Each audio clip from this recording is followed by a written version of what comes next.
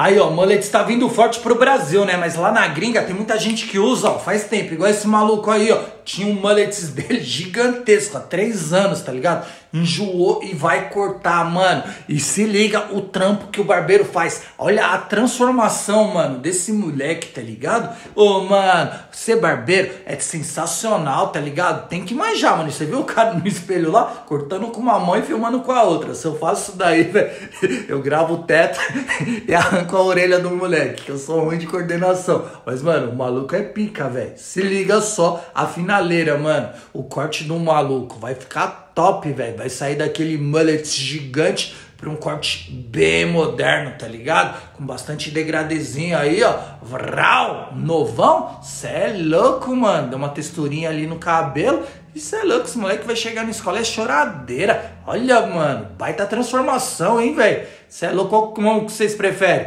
O antes do mullet ou o agora aí, ó, do cabelo curtinho? Comenta aí, mano. Muito cabelo.